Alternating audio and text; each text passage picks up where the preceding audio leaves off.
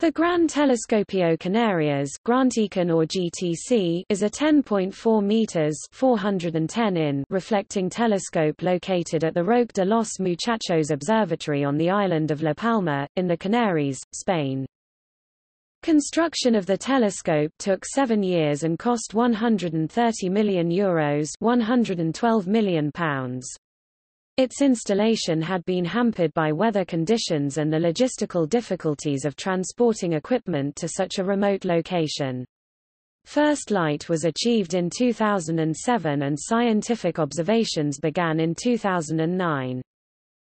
The GTC project is a partnership formed by several institutions from Spain and Mexico, the University of Florida, the National Autonomous University of Mexico, and the Instituto de Astrofísica de Canarias IAC.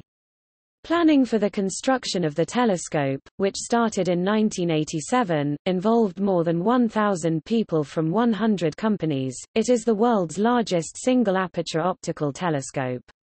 The division of telescope time reflects the structure of its financing, 90% Spain, 5% Mexico and 5% the University of Florida.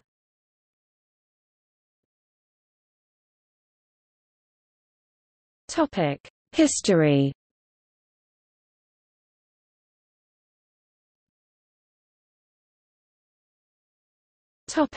First light The GTC began its preliminary observations on 13 July 2007, using 12 segments of its primary mirror, made of Zerodur glass ceramic by the German company Schott AG. Later the number of segments was increased to a total of 36 hexagonal segments fully controlled by an active optics control system, working together as a reflective unit. Its day one instrumentation was OSIRIS. Scientific observations began properly in May 2009.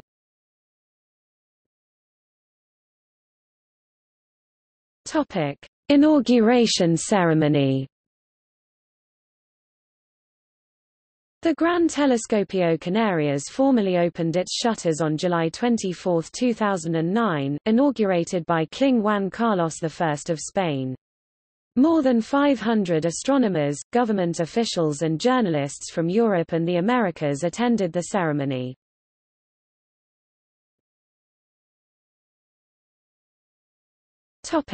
MEGARA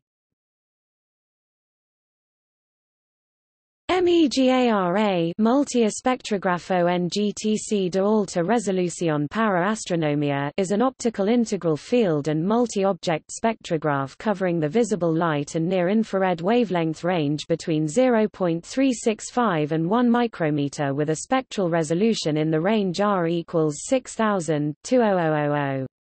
The MEGARA IFU also called LCB, Large Compact Bundle offers a contiguous field of view of 12.5 arcsec by 11.3 arcsec, while the multi-object spectroscopy mode allows observing 92 objects simultaneously in a field of view of 3.5 arcmin by 3.5 arcmin by means of an equal number of robotic positioners.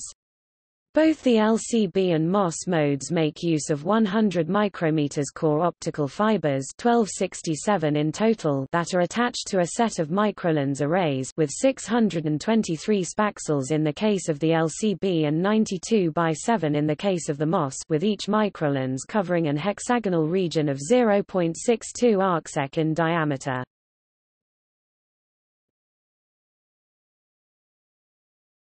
Topic CanariCam The University of Florida's CanariCam is a mid-infrared imager with spectroscopic, coronagraphic, and polarimetric capabilities, which will be mounted initially at the Nasmyth focus of the telescope.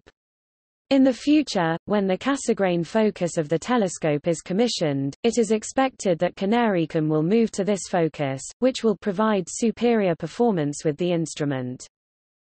CanariCam is designed as a diffraction-limited imager. It is optimized as an imager, and although it will offer a range of other observing modes, these will not compromise the imaging capability. The fact that CanariCam offers polarimetry and coronagraphy in addition to the more standard imaging and spectroscopic modes makes it a versatile and powerful instrument. CanariCam will work in the thermal infrared between approximately 7.5 and 25 micrometers. At the short wavelength end, the cutoff is determined by the atmosphere, specifically atmospheric seeing. At the long wavelength end, the cutoff is determined by the detector, this loses sensitivity beyond around 24 micrometers, although the cutoff for individual detectors varies significantly. CanariCam is a very compact design. It is expected that the total weight of the cryostat and its on-telescope electronics will be under 400 kg. Most previous mid-infrared instruments have used liquid helium as a cryogen. One of the requirements of CanariCam is that it should require no expensive and difficult to handle cryogens. CanariCam will use a two-stage closed-cycle cryocooler system to cool the cold optics and cryostat interior down to approximately 28 K minus 245 degrees Celsius, minus 409 degrees Fahrenheit, and the detector itself to around 8 K minus 265 degrees Celsius, minus 445 degrees Fahrenheit, the temperature at which the detector works most efficiently.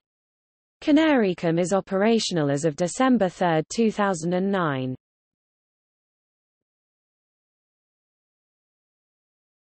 Topic: OSIRIS. The IAC's OSIRIS optical system for imaging and low-resolution integrated spectroscopy, is an imaging and low-resolution spectrograph with long-slit and multi-object spectroscopic modes. It covers the wavelength range from 0.365 to 1.05 micrometers with a field of views FOV of 7 times 7 arcmin and 8 arcmin times 5.2 arcmin for direct imaging and low-resolution spectroscopy respectively. It provides a new generation of instrumental observation techniques such as the tunable filters, the charge shuffling capability in the CCD detectors, etc.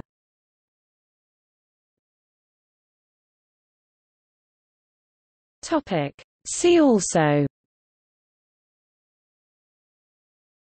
Other observatory sites La Silla Observatory Mauna Kea Observatories Paranal Observatory. Lists and comparisons. Extremely large telescope. List of largest optical reflecting telescopes. List of largest optical telescopes historically. Gallery